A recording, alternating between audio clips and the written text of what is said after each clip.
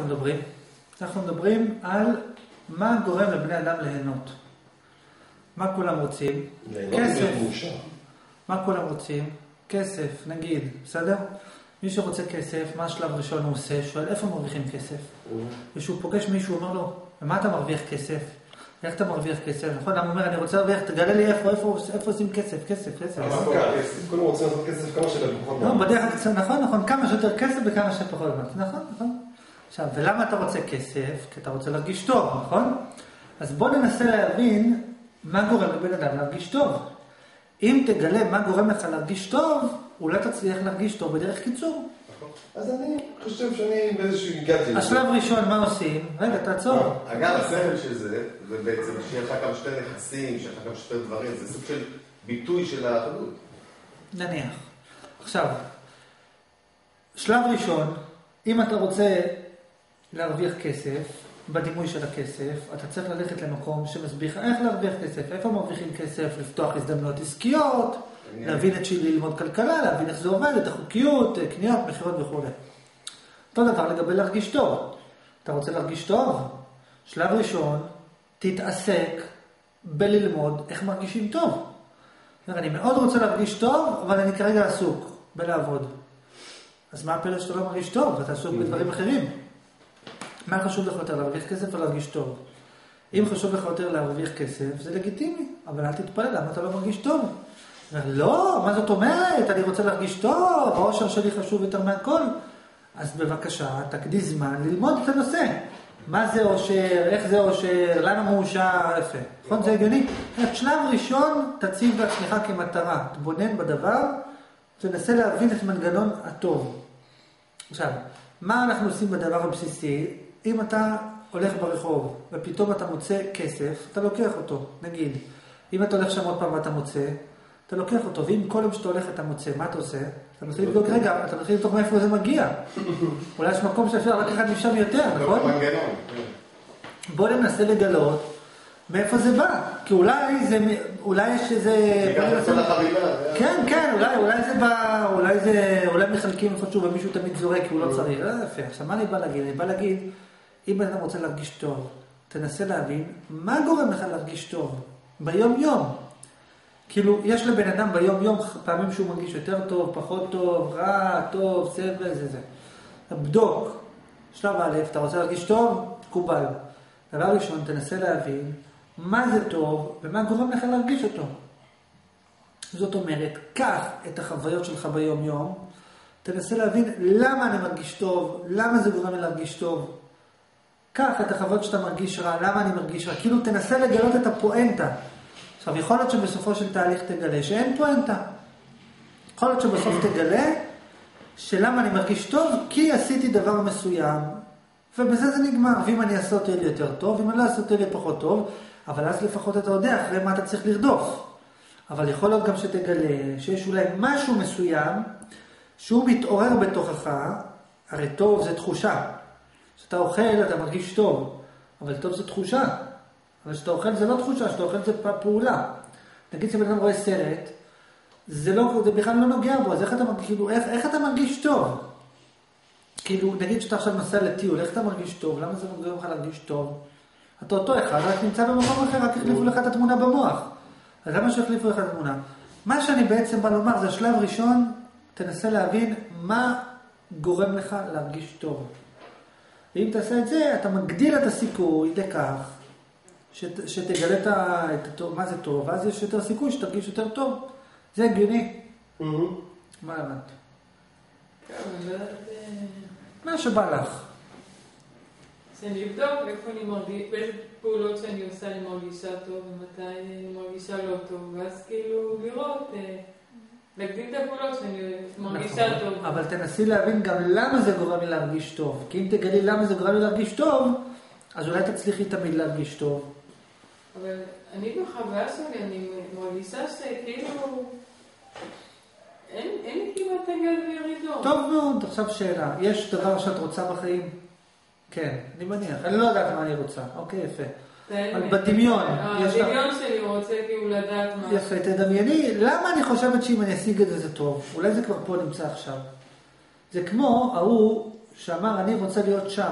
אתם זוכרים את הסרטון? היה אחד שאמר, אני רוצה להיות שם. אז אמרו לו, לך לשם. אז כשהוא הגיע לשם, הוא אמר, אני שם? אמרו לו, לא, אתה פה, אם אתה רוצה להיות שם, לך לשם. אה, אז הוא הלך לשם, אז הוא אמר, טוב, הגעתי לשם? אמרו לו, לא, לא הגעת לשם, הגעת לפה. אתה שם, תהיה שם. אומר, רגע, מה זה שם? אה, אז אני כבר שם. אז אין הבדל בין שם לפה. מה אני בא להגיד? את מדמיינת שתשיגי איזה משהו, נניח, בדמיון. תנסי לבדוק, ונניח שיהיה לי את זה, למה זה יגרום לי להרגיש טוב? בגלל משהו מסוים. אז אולי יש לי את זה כבר עכשיו. אני לא בטוחה שאני ארגיש טוב מזה. אז עוד יותר גרוע. נכון. אז למה את רוצה את זה? לא יודעת. עכשיו אנחנו מנסים להבין, כל אחד ואחד, שייקח עוד דברים שהוא חושב שהם טובים, עוד דברים שגורמים להרגיש טוב, עוד דברים שהוא חושב שיכולים לגרום להרגיש טוב, עוד דברים שהוא חושב שגרמו למישהו להרגיש טוב. אני מנסה לשאול, למה זה גורם לבן אדם להרגיש טוב? עכשיו, כל תשובה שאתה תמצא, נגיד יבוא מישהו, למה זה גרם לו להרגיש טוב? כי הגוף שלו היה בריא. לדוגמה, בן אדם היה חולה, הרגיש רע. לקח תרופה, נהיה בריא, הרגיש טוב. למה הוא הרגיש טוב? כי הגוף שלו נהיה בריא. עכשיו, נגיד, עכשיו, אם אתה מוצא תשובה לשאלה למה הוא הרגיש טוב, תבדוק רגע, האם תמיד כשהוא בריא הוא מרגיש טוב? והאם תמיד כשהוא מרגיש טוב זה בגלל שהוא בריא? זה ההוכחה לכך שכשלקחת תרופה ונהיית בריא והרגשת טוב, זה לא בגלל שנהיית בריא. כאילו, אם זה בגלל שהגוף שלך בריא, אז למה כשאתה בריא אתה לא תמיד מרגיש טוב? האם זה, יכול להיות בן אדם שנהיה חולה ומרגיש טוב? הוא חוץ. אולי זה ההשתוקקות שלך מהרגע הזה לרגע הבא, כאילו שאתה רוצה... אני רק בא להגיד במבנה, בתהליך, לגבי נגיד הנושא של הצחוק שדיברנו פעם קודמת. כל סיבה וסיבה, רגע, אם זאת הסיבה, האם תמיד כשהיא קיימת אתה צוחק? והאם תמיד כשאתה צוחק זה בגלל הסיבה הזאת? אותו דבר פה. למה, מה גורם לך להרגיש טוב? נגיד בן אדם יגיד, מה גורם לי להרגיש טוב? הבנה. רגע, אז תמיד כשאתה מבין זה גורם לך להרגיש טוב? לא, כי הרבה פעמים אתה מבין וזה גורם לך להרגיש רע. מהמם. האם, וגם מצד שני, האם כל שמחה שלך היא רק בגלל הבנה? לא, זה אומר שאתה, שזו לא הסיבה. אנחנו מנסים למצוא את הסיבה. מה גורם לבן אדם להרגיש טוב? אז יאללה, תתחיל אתה. לב נקי. לב נקי. אוקיי, עכשיו, כל הפעמים בחיים שאתה מרגיש טוב זה לב נקי? אשאל אותך שאלה, נגיד שאתה רעב, ומישהו מביא לך לאכול. אתה שמח?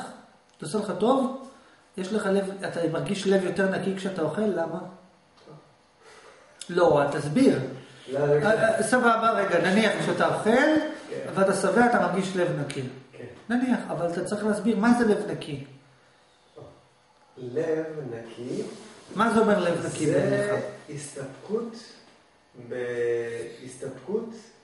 במשהו שיגרום. הסתפקות- קודם כל, אני רק רוצה להראות לכם משהו לוגי. הוא אמר לב נקי. אפשר לקחתי אותו למקום שבו לכאורה, לב, לא לב נקי הוא הסיבה שאתה מרגיש טוב.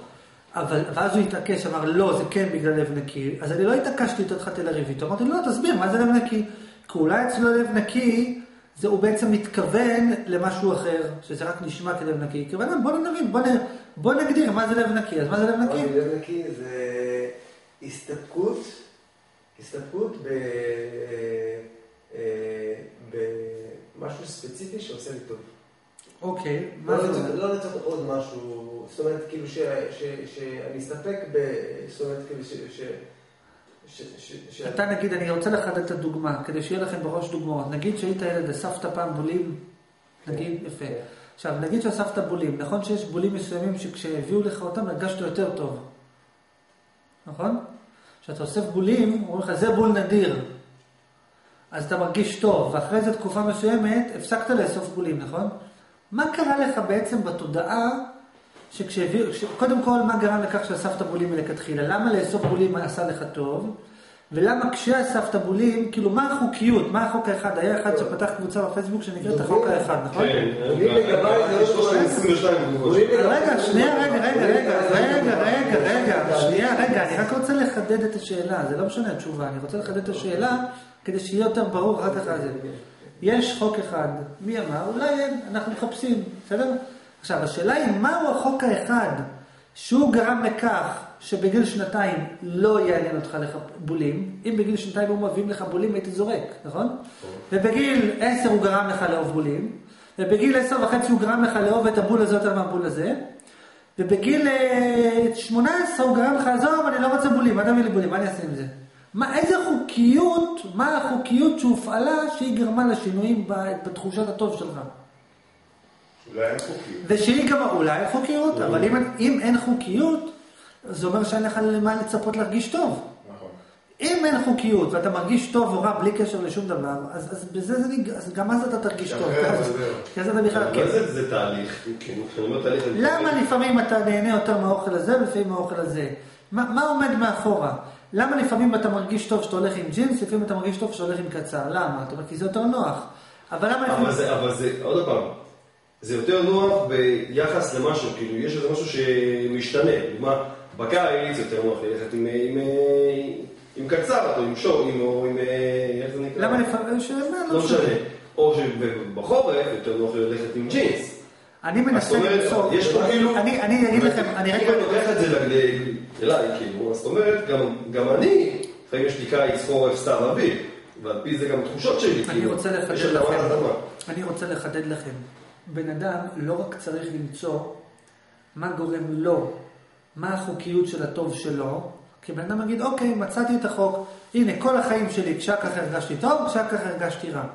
אתה צריך למצוא את החוק האחד שמתאים לכולם. ואתה צריך לגלות מהו אותו הרכיב, התבלין הספציפי. יש דבר מאוד מסוים, שאם יש לך אותו אתה מרגיש טוב, ואם אין לך אותו אתה מרגיש רע. ושיהיה נכון לגבי כל האנשים בעולם תמיד. תחושת האחדות. מה זה אומר? רגע, רגע, רגע, רגע. רגע, רגע, רגע. תעצרי, תחושת האחדות. אז למה פעם אחת אתה רוצה לאסוף בולים ופעם אחת לא? ולמה כשאתה אוסף בולים אתה רוצה את זה יותר מזה? תחושת האחדות. למה האחדות? רגע, רגע, רגע, שנייה. עושה? לא. אני רוצה לחדד את השאלה, תתרכזו. נגיד בן אדם יגיד, אתה יודע מה גורם לי להרגיש טוב? שאני מרגיש שאני אחד עם המציאות. אוקיי, כשהיית בגיל שלוש, רצית לאסוף בולים? לא. למה לא? כי הרגשתי אחדות, אני לא צריך בולים, נכון? היה, לא רציתי, ואם הוא מביאים לך בולים, אמרת, אני לא רוצה. זאת אומרת שלא היה לזה משמעות ביניך, הרגשת אחדות. אז איך יכול להיות שאחר כך זה השתנה? כן, מצאת שם אולי את האחדות. מה? כן, אבל איך זה יכול להיות? אז, אז מה, מה מצאת שם? כאילו, איך יכול להיות? כי אם אתה אומר... אם אתה אומר, אם בן אדם אומר, אני חוויתי אחדות, לדוגמה, בוא נגיד ניקח בן אדם דתי, הוא נגיד צם ביום כיפור, הוא טוב לו מזה שהוא צם. אבל אם אתה חווה אחדות מזה שאתה צם, אז למה אחר כך אתה נהנה לאכול? יש משהו נוסף שהשתנה. Mm. כאילו, אם אתה חווה אחדות מזה שאתה רוצה בולים, איך יכול להיות שאחר כך אתה חווה, נגמר לך, לא, אני כבר לא חווה מזה יותר אחדות, אני לא רוצה את זה יותר. לא, אם זה שהוא... אולי זה ההפך. יואו, זה את לא- אמרת, לא, לא, לא, לא, לא, לא. אני אומרת שבן אדם טוב לו שהוא חווה אחדות. זה לא אני סבבה, סבבה, רגע, רגע, רגע, רגע,